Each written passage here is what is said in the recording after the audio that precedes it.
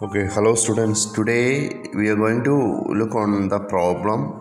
The problem is mentioned on the page number 57. So on page number 57 of your textbook, you can see the uh, problem. Okay.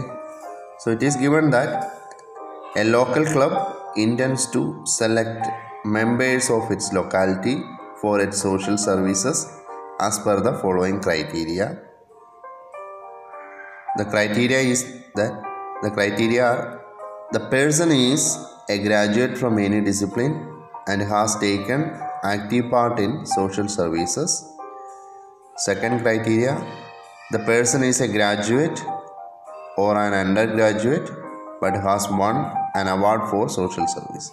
So two criteria is given.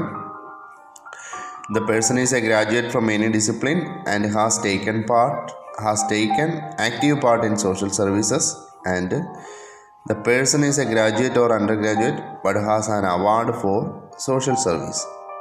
And please note that we have given with the three inputs. G, G stands for the person is a graduate and S which means has taken active part in social services. A means has won an award for social service. Okay. And please see that in all above cases, one means one means it is yes that is suppose g1 means the person is a graduate 0 means the person is not a graduate. Similarly s means that person has has taken active part in social service. 0 means s0 means has not taken active part in social service. Similarly a means that person has a a equal to 1 means that person has won an award for social service. 0 means has not won an award for the social services. And we have one output column uh, which can be denoted by x.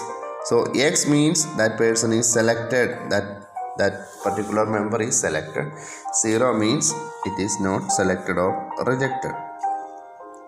So we are asked to draw the truth table using the given inputs. So you can see that there are three inputs g s and a so we have to draw the truth table according to the inputs okay? So three inputs. So 2 raised to 3 8 values there in the uh, on the the 8 values there will be on the truth table right? Okay. Then it is given that we have to derive the terms with the conjunctive operatives. So we have to uh, derive the terms with the conjunctive operatives. So conjunction means it is the and operation right so we have to derive the terms with the conjunction for each true value is 1 okay? Whenever we are getting a 1 in the output column whenever we are getting a 1 in the output column we have to derive conjunction operation for the for the output column where values are 1 okay? And also we have to join these terms using the disjunction okay? Let's see how it is going to be okay okay here you can see that i have uh, i'm considering the inputs one more time. G means the person is a graduate. S means has taken active part in social service. A means he has won an award for social service. So in all the cases 1 means it is true 0 means it is false. Okay? So based on the given input so we have we are we are given with the uh, three inputs. So we have to make the compound propositions from the given criteria.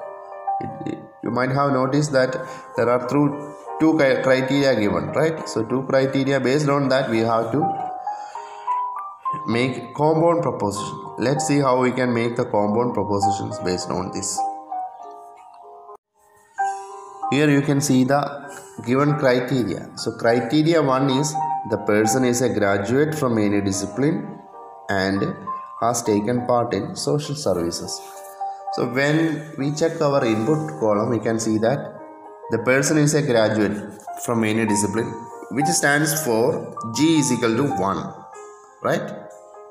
And uh, has taken part in has taken active part in social services that stands for s so the symbolic representation of the above can be written as g and s. So here i am using this symbol which also means that g dot s right? So let me explain one more time. The given criteria the first criteria is that the person is a graduate from any discipline. So that means g is equal to 1 and has taken part in and has taken part in social services. That means s is equal to 1 right? So that i'm ta- i'm considering g and s. So based on this we can write g and s right? Here i am assuming that when we write g g means g. G in the normal form. Normal form means see i'm not using the complement form of g. G complement form is the negated form of g so g and s now see the criteria 2. it is given that the person is a graduate or undergraduate but has an award for social service.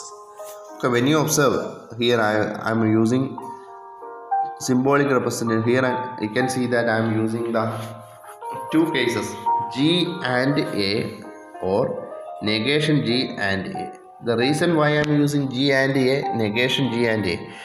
G and a means the person is a graduate and has an award for social services. Negation g and a means the person is an undergraduate but has an award for social service. So when it comes to the criteria two award is a compulsory. So it doesn't matter whether the person is a graduate or undergraduate so that's why i'm taking it as g is equal to uh, g as 1 or 0 right? So when it is 1 i am taking g as 1 g in the normal form. When it is 0 i am taking g as complement form. Okay?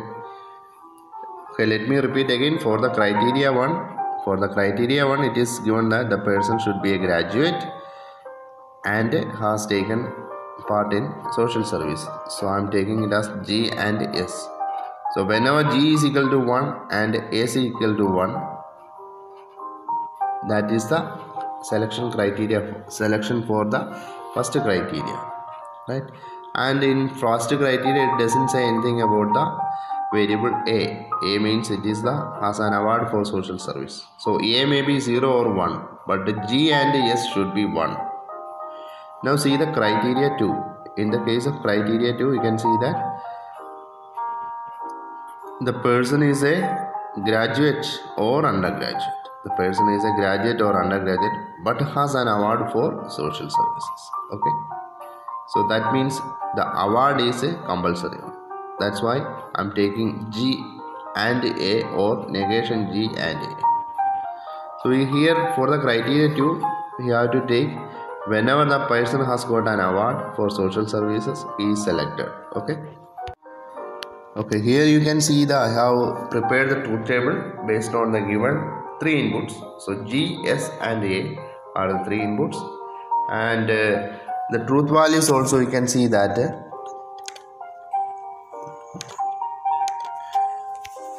the truth values you can see as it is the three inputs. So we have if you can see that the binary values ranging from 0 to 7 okay? And x is the column which is going to represent the output. X equal to 1 means the person is selected and 0 means it is not selected okay? Now you can see that I have created that column x which is the output and has included 1 in some certain places so please note that I am putting when g is equal to 0 s is equal to 0 and a is equal to 1 I am putting 1 because it is based on the second criteria. As per the second criteria whenever the person has an award he is selected right? So we have to consider that person whenever he has got an award. It doesn't matter whether he has got a graduate whether he is a graduate or not whether he has actively participated in the social services so that doesn't matter. Whether he got an award then he is selected. So that is why g is equal to 0 s is equal to 0 and a is equal to 1 which is selection. And similarly you can see that g is 0 s is 1 and a also 1 so g0 s equal to 1 and a is equal to 1 that is also selected based on the criteria two then you can see when g is equal to 1 s is equal to 0 and a is equal to 1 so that is also based on criteria 2 so please note that as per the criteria 2 if you understand the criteria 2 the person can be selected whenever he has an award. So that is why i'm putting whenever we got a is equal to 1 whenever that a is equal to 1 i am selecting that person. And corresponding to the x value i am putting 1 putting 1 in the x column means that that person is a selected one. And see based on the criteria 1 i have selected g is equal to 1 s is equal to 1 and a is equal to 0 because our first condition is that or first criteria is that whenever the person is a graduate and actively has taken active part in the social services then he is a select. So that is why i am selecting g equal to 1 s equal to 1 and a is equal to 0 and similarly when g is equal to 1 s is equal to 1 and a is equal to 1 then also i am selecting based on the criteria 1 okay okay now we you can see that i'm preparing the conjunction for or conjunction terms for for the input values whenever i'm getting an output 1 on the x column. See whenever x is equal to 1 means see when g is 0 i'm taking it as g bar. S is equal to 0 i'm taking it as s bar. And a is 0 means i am taking it as a bar. So the first case when we are getting an x you can see that x is equal to 1 you can see that when g is equal to 0 s is equal to 0 and a is equal to 1 i am getting 1 on x. So see the conjunction. I'm representing it as negation g and negation s and a. Suppose the value is 1 means that variable in the normal form. Uh, suppose the value is 0 that variable is in the complement form. So we have to consider in that way. Now see i'm getting x is equal to 1 when g is equal to 0 and s is equal to 1 and a is equal to 1 so in this case i am taking the conjunction term as negation g and s and a. Okay. Now consider the term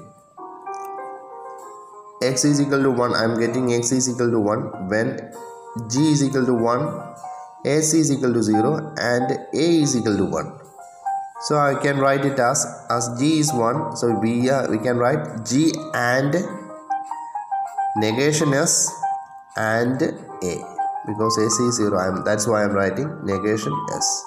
Okay? G and negation s and a. Next one. G is equal to 1 s is equal to 1 and a is equal to 0 so the corresponding conjunction term is g and s and negation a.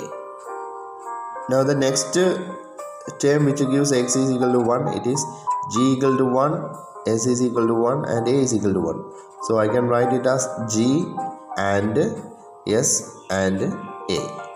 Okay. And it is given in the question. So we have to prepare the final expression by joining all these conjunction terms with the disjunction so conjunction means it is the and that we have already prepared. Now we have to join these conjunction terms using the disjunction disjunction means it is the or operator. So you can see that i have written that expression right? So i'm here i'm using both both way representation. Different symbols i am using right?